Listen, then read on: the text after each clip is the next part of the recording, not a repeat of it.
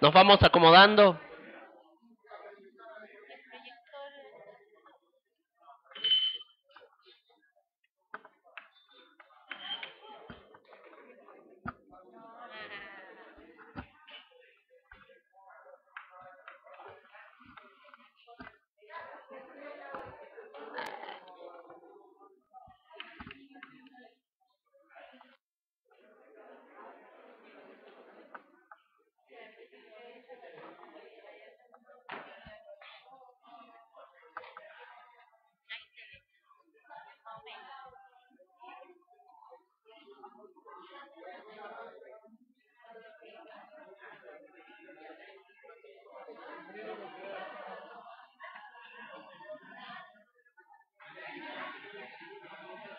¿Listo? ¿Fede? ¿Ya? Bueno, entonces, empezamos.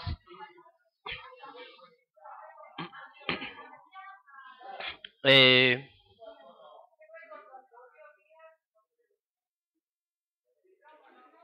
¿Cómo?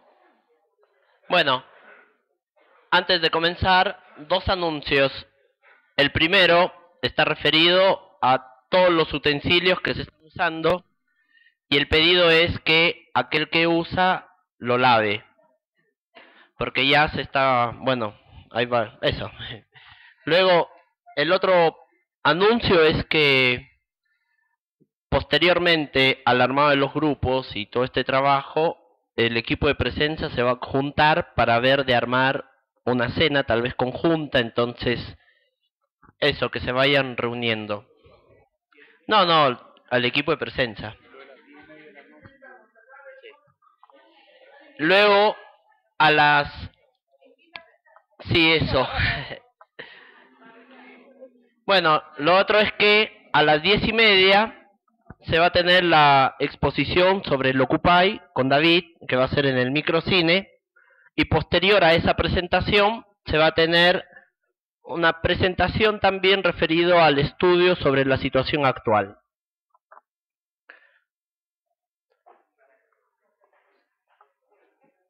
Bueno, eh, y ya, y para iniciar, Fede va exponer el trabajo realizado.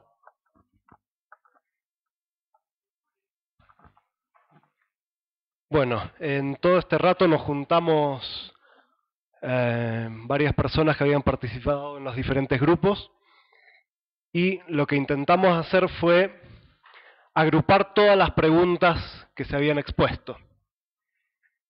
En base a algunos criterios, fuimos nucleando todas las preguntas que había, van a notar que están todas,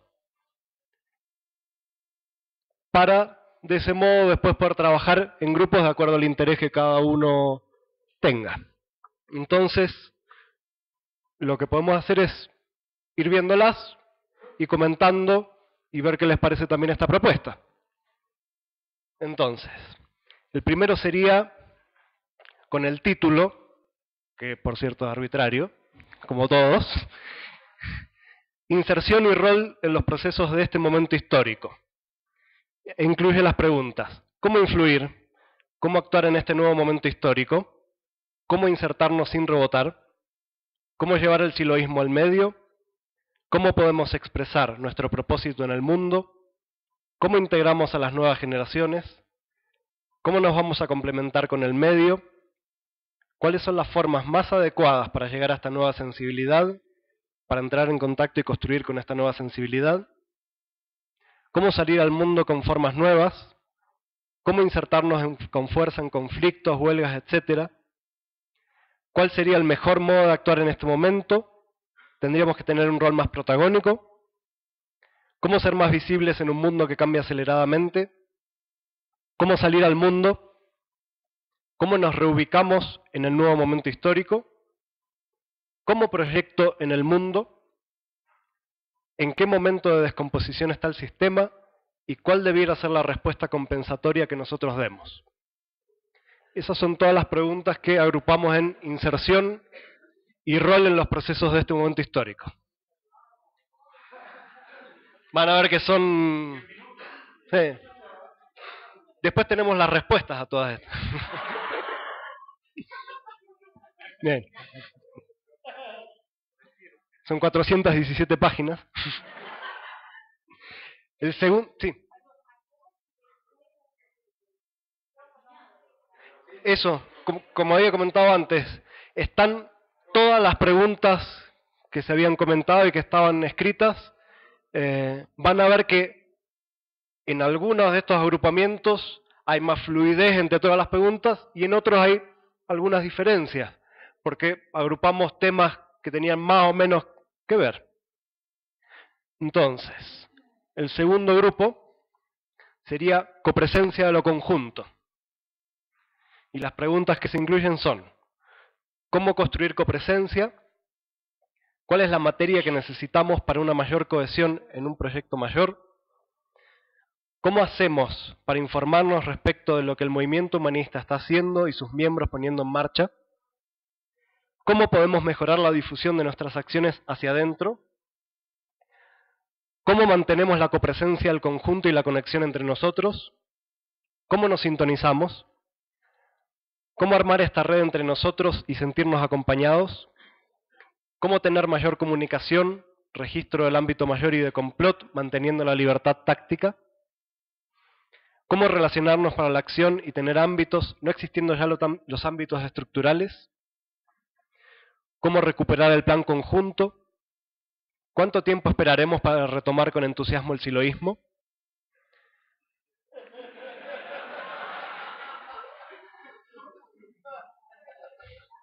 Cómo volver a tener pasión, proyectos locos, volver a divertirnos, tener imágenes grandes para transformar el mundo.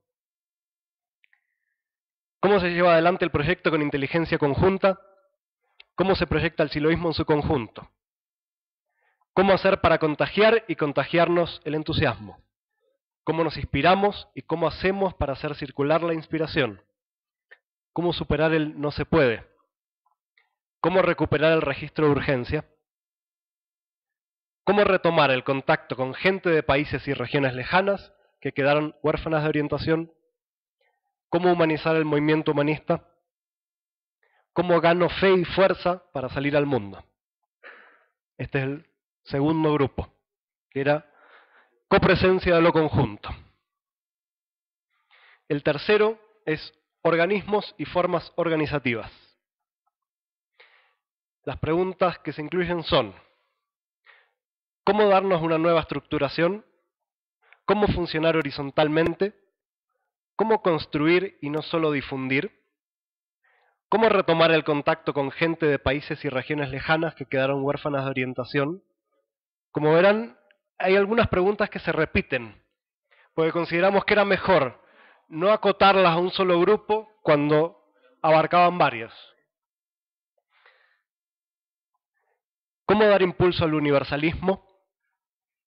¿Cómo nos adaptamos crecientemente al medio dando continuidad al movimiento humanista y sus organismos? Nuevas formas.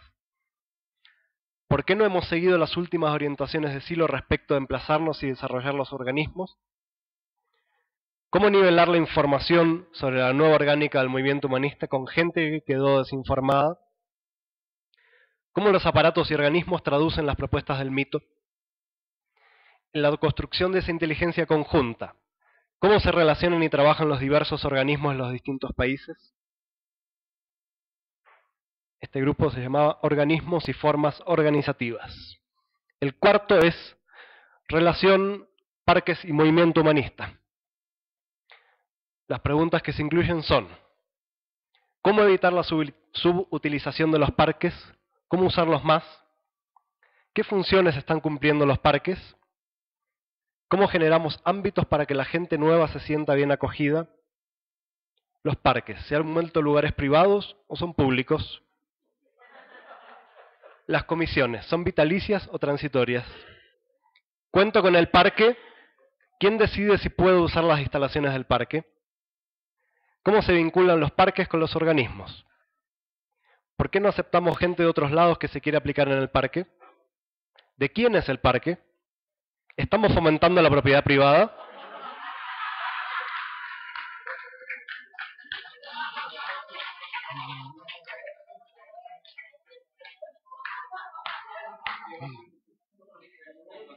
Este es el cuarto grupo.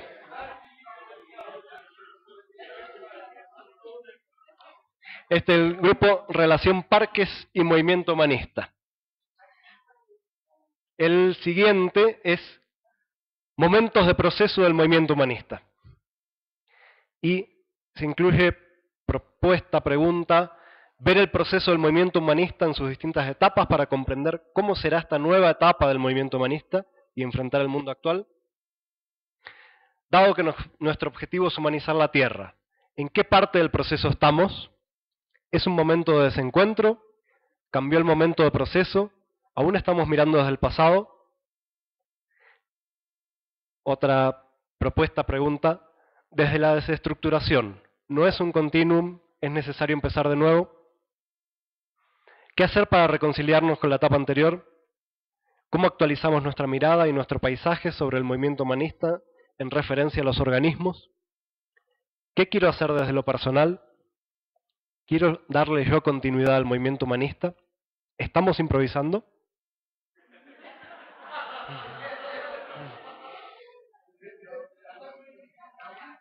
Y el último grupo, este se llamaba Momentos de Proceso del Movimiento Humanista. Y el último, y sexto grupo es sentido y trascendencia del movimiento humanista. Y las preguntas que se incluyen son, ¿cómo potenciar el mito de la nación humana universal? ¿Cómo se instala el mito? ¿Cuál es la labor del movimiento humanista y sus organismos en esa dirección? ¿Qué tiene que ver esto con el mensaje, la cesis y todo lo nuestro? Y, por último, ¿cómo dar impulso al universalismo? Esas son las preguntas agrupadas en seis temas. Seis.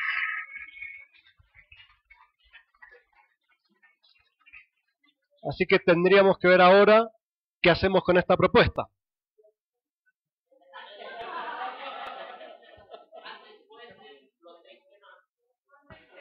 Bien, los títulos de los seis temas.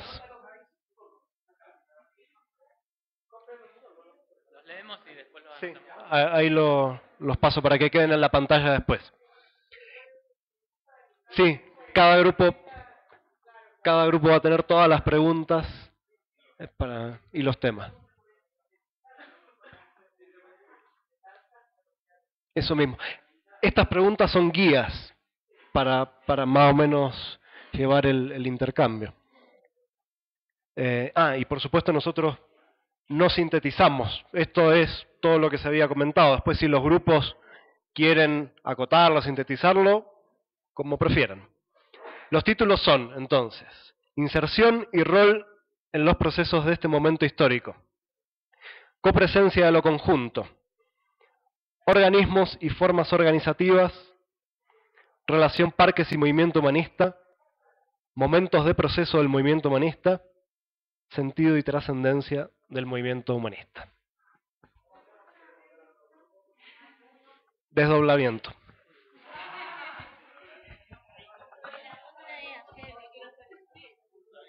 Bueno, entonces, una, una primera propuesta es que ahora se puedan constituir los grupos, definan mañana a qué hora inician su trabajo y que nos volvamos a juntar en plenaria tipo doce y media o una. Esa es una primera propuesta. Claro, habiendo trabajado los grupos, nos juntamos en plenaria doce y media. A ver, repito, repito. La propuesta, una propuesta, es que ahora se conformen los grupos, definan dónde van a trabajar, a qué hora trabajan y que mañana nos juntemos doce y media en un nuevo plenario para exponer lo trabajado.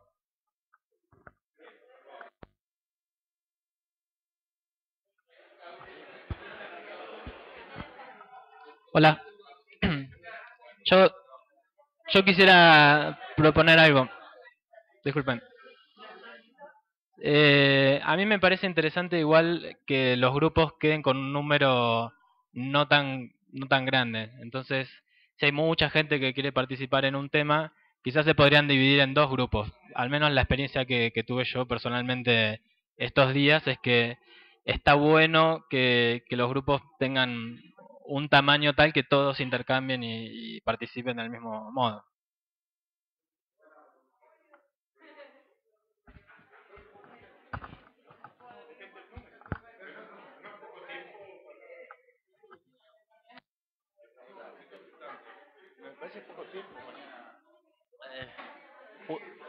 Willy.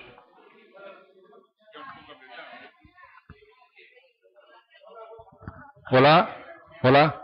Una, no, una inquietud, ¿no? Son las casi nueve, ¿no? Entonces, por lo que entiendo la propuesta, vamos a cenar y trabajar hoy, ¿no? Y tenemos que hacer toda la reflexión sobre eso hoy, ¿no? No, disculpa, sigo. Ah, no, no es, no es que se va a trabajar hoy. El grupo decidirá. Mañana, a la mañana, pero terminamos al mediodía y media. Esa es la idea. Ah, entendí. Está bien. Todo caso, todo caso, una propuesta, disculpa, solo para, todo caso, una propuesta de que nos juntemos en la plenaria quizá un poquito más tarde para dar un poco más tiempo.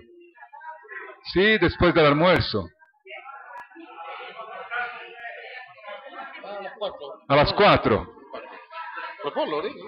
Ah, hacer una plenaria mañana a las cuatro. Así que estamos con de ahora a las cinco, dicen.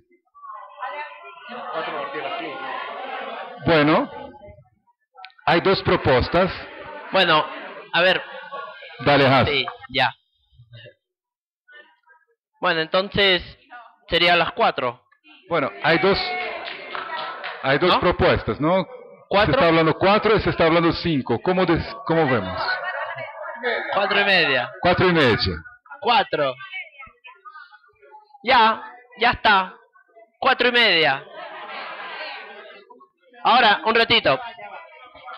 A ver, eh, estamos comentando una propuesta muy práctica para poder armar los grupos. Vamos a poner eh, unas hojas, cada una con el nombre, con uno de los nombres, o sea, seis hojas, y cada uno se anota en el grupo que va a querer participar. Y, y cuando se vea que es mucho, pues se dividirá en dos. Porque hacerlo así, como yo quiero este, yo que está como complicado. Entonces, vamos a poner ahí las seis hojitas y cada quien se anota. También, vamos a ver. Por lo... Definir dónde cada Es, es que en la hoja vamos a poner el título, el título, el tema y el lugar donde se va a reunir ese grupo. Ahí se anotan y si hay que hacer algún cambio por número o por lo que fuere, lo, los, Ahorita ponemos las hojas. Los grupos de, yo pienso que por, será a las 10 de la mañana. No,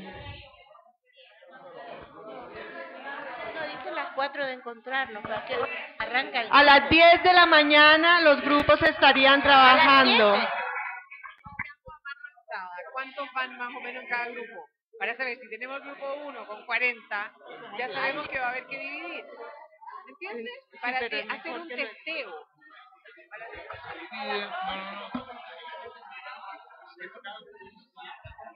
Sí.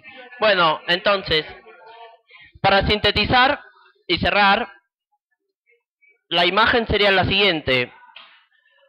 Se van a se van a generar unas hojas. A ver,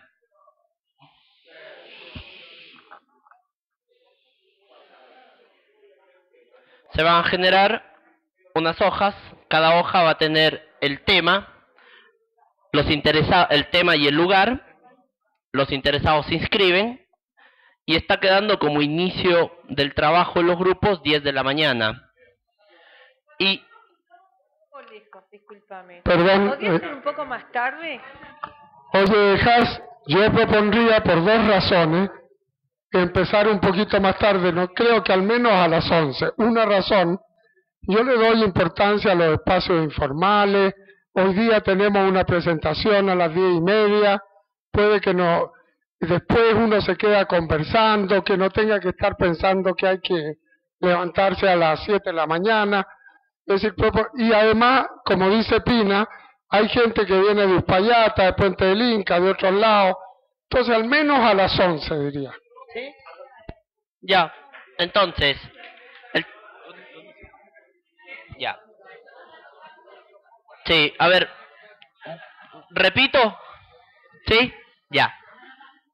A ver, el... Sí, es igual. Qué divertido. Ya. Bueno, entonces, hay seis temas. Cada tema va a ser colocado en una hoja. En esa hoja va a estar el lugar donde se va a reunir ese grupo. Cada grupo empieza a trabajar 11 de la mañana y a las cuatro y media de la tarde nos volvemos a juntar en plenaria para enterarnos de todo lo trabajado.